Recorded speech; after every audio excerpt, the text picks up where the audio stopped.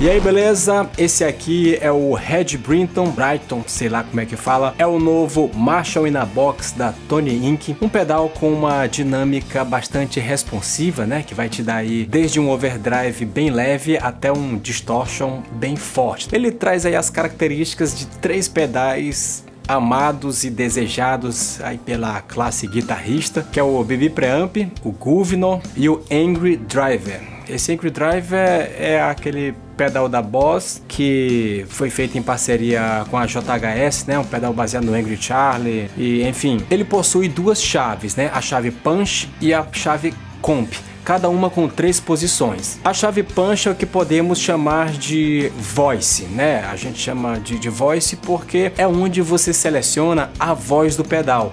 É aqui onde você vai escolher se ele vai ser BB Preamp, Governor ou Angry Driver. No modo BB Preamp, dispensa comentários, né? Naturalmente é um drive leve, com uma boa definição, ótimo para tocar blues, solos leves. Eu particularmente eu curto muito esse timbre acompanhado de um delay, né? Um reverbzinho ali, fica bem legal. E também é muito legal para empurrar o drive do seu amplificador.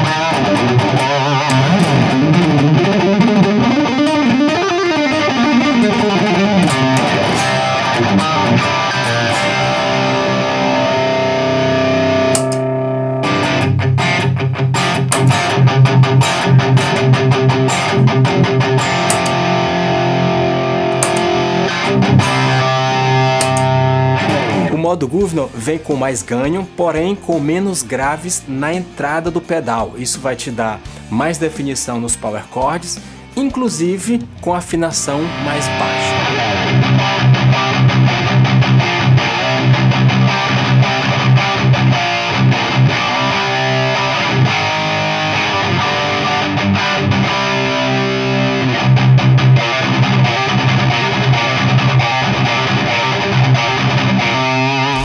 Modo Angry vai trazer mais corpo, fica bem interessante para você incorporar o, o som daquela sua guitarra com captadores single.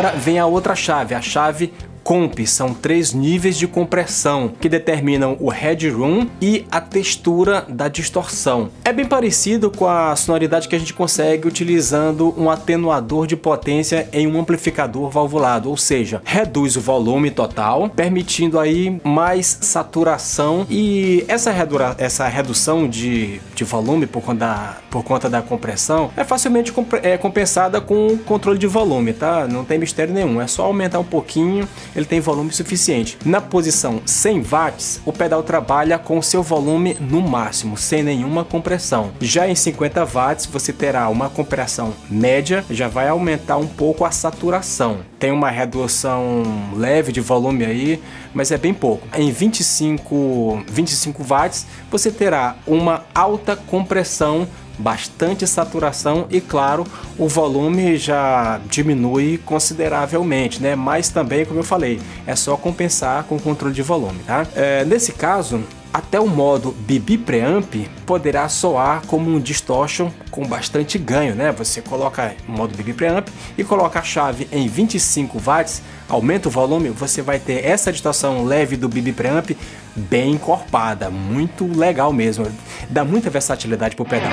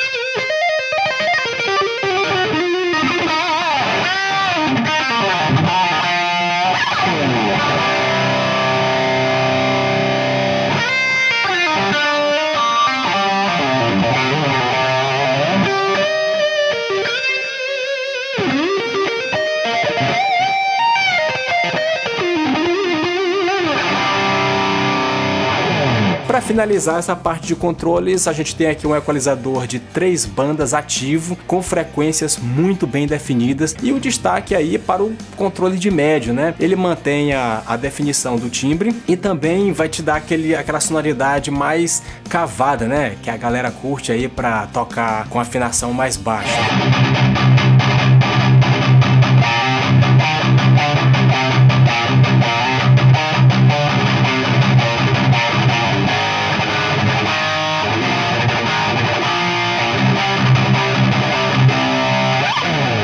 Pedal altamente versátil que vai te dar uma grande variação de ganho, desde um leve overdrive até um high gain cavado para tocar metal, graças à chave punch e comp e seu equalizador ativo, né?